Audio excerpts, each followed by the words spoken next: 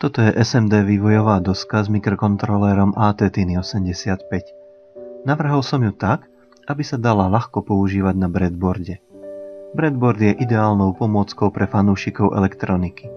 Zastrčíte do neho súčiastky, prepojíte ich niekoľkými drôtenými vodičmi, pripojíte napájanie a elektrický obvod sa rozbehne. Fanúšikovia Arduina radi nahrádzajú originálne Arduino za menšie alebo ešte menšie. Do mikrokontroléra AT-Tiny85 sa dá naprogramovať jednoduchší program a bude fungovať rovnako ako v samotnom Arduine. Aj tento mikrokontrolér AT-Tiny85 sa dá použiť na breadboarde. Zapojíte ho a všetko bude fungovať. Ale elektrický obvod na breadboarde bude vyzerať ako vrabčie hniezdo. A po pár experimentoch vás nebude baviť zapájať stále rovnaký elektrický obvod. Chcete sa venovať samotnému programovaniu. Ja som niekoľko rokov používal túto vývojovú dosku a vyvinul som na nej zaujímavé elektrické obvody.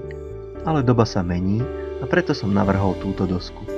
Prioritou bolo využitie SMD súčiastok. Prioritou bola spolupráca s ďalšími podobnými doskami. A tu je výsledok.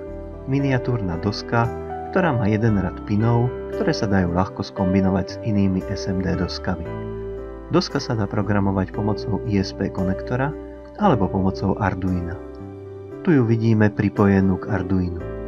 Chaos prepojovacích vodičov je nahradený niekoľkými drôtenými vodičmi. Dosku si môžete ľahko poskladať aj sami.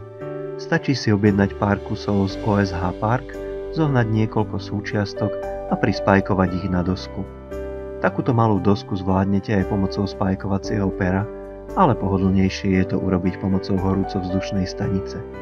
Za pár dolárov získate dosky, na ktorých sa pohodlne vyvíja a nemusíte sa trápiť s nekonečným opakovaním toho istého zapojenia.